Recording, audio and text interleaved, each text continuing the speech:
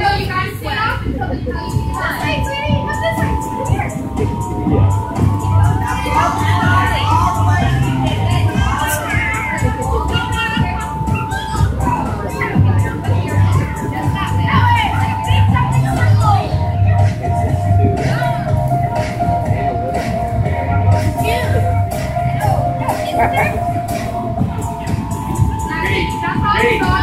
Come